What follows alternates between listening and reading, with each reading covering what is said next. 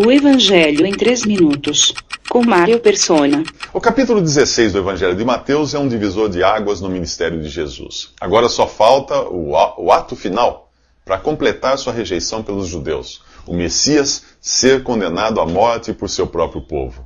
O capítulo 53 do livro do profeta Isaías estava para se cumprir e agora Jesus passa a preparar seus discípulos para a cena da cruz.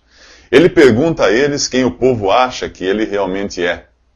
A resposta é que o povo acha que ele pode ser João Batista, Elias, Jeremias ou algum outro profeta ressuscitado.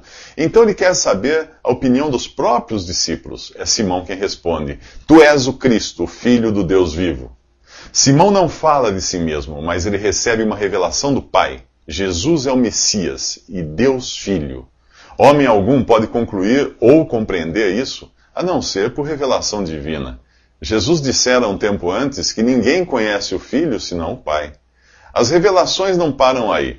Dirigindo-se a Simão, Jesus diz: Eu lhe digo que você é Pedro, e sobre esta pedra edificarei a minha igreja, e as portas do inferno não poderão vencê-la. Eu lhe darei as chaves do reino dos céus. O que você ligar na terra terá sido ligado nos céus, e o que você desligar na terra terá sido desligado nos céus.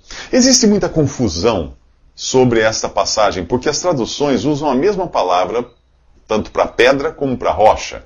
Eu acredito que Jesus se referia à afirmação de Pedro e a si mesmo ao falar de pedra.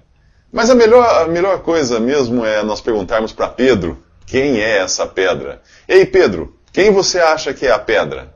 Pedro responde no capítulo 4 de Atos: Este Jesus é a pedra.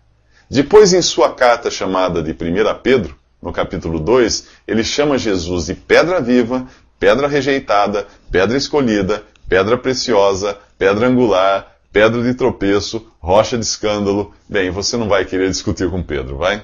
Uh, outra revelação é que Jesus edificaria a sua igreja, a igreja dele próprio, o que nos leva a duas conclusões importantes.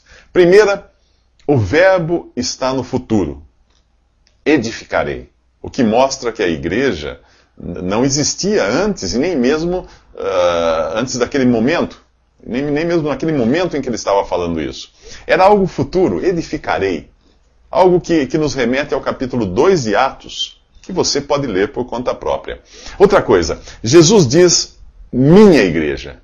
É dele, de mais ninguém.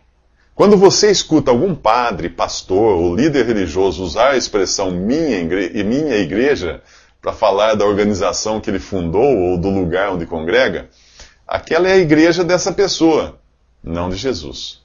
Se você quer saber qual é realmente a igreja de Jesus, não perca os próximos três minutos.